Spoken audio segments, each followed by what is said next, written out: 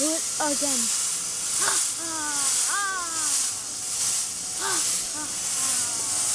Alright, just remember guys, these special effects came from 14 Miss